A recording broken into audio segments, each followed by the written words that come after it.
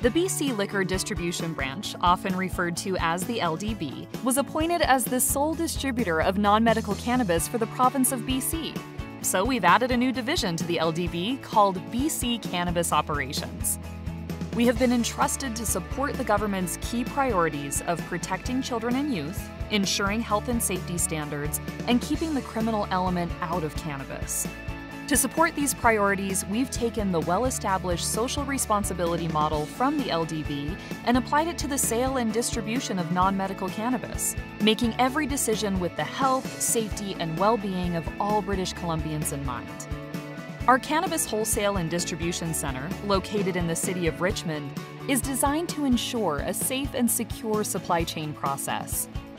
The over 70,000 square foot facility is home to our e commerce fulfillment, store fulfillment, and customer call center team, and each plays a critical role in working with our licensed producers and serving our customers. The supply chain process kicks off with producers receiving federal licensing from Health Canada to ensure a safe and reliable supply.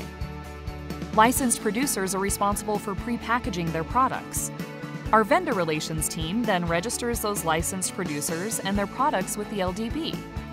Next, the wholesale costing and pricing team establishes the wholesale price for registered products, and demand planners place orders. Transportation carriers delivering the product to our warehouse pass through high speed security gates and dock in our secure loading bay. Product is always secure from licensed producer to warehouse to end user. The product is unloaded by receiving staff, who review the condition of the product for damage, verify the shipment, and log the product into our modern warehouse management system. Once the receiving process is complete, the put away team stores the product in its system driven location. Regular inventory audits, stock rotation, and 24 7 site security ensure product security and quality control. The distribution center receives orders from three types of wholesale customer, including e-commerce customers, private retail stores, and public or government retail stores.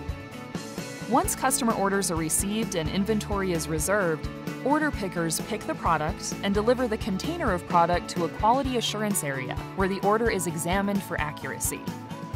Warehouse workers inspect and seal the containers and prepare them for shipping.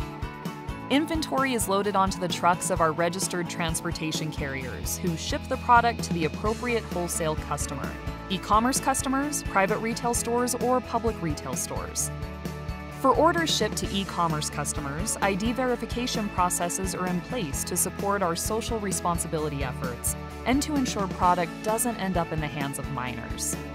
A fully controlled end to end supply chain process is an integral part of our mission to make high quality cannabis products and information available to all customers through responsible channels that provide expert and friendly advice.